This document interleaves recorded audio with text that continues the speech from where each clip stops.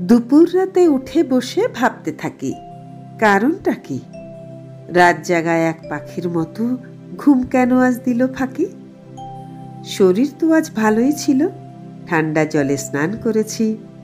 খেলাধুলার মজা করে গোটা দিনটা পার করেছি। সারা দুপুর না ঘুমিয়ে গল্প শুনে কাটিয়েছি। বিকেলবেলা খেলতে গিয়ে কানামাছি আর লুকোচুরি ঘেমে নিয়ে একসার হয়ে ক্লান্ত হয়ে ঘরে ফিরেছি।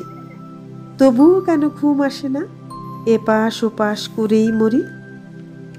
হঠাৎ দমকা হাওয়ার ঝাপটা এসে চোখ খুলে দেয় এক নিমেষে। সন্ধে থেকে কালো মেঘে আকাশটা যে ছেয়ে আছে, যে তারাটি চোখের পাতায় চুম দিয়ে যায় রোজ রাতে মেঘের আড়াল, সে তারা আজ দেয়নি দেখা, দেয়নি চুমো চোখের পাতে।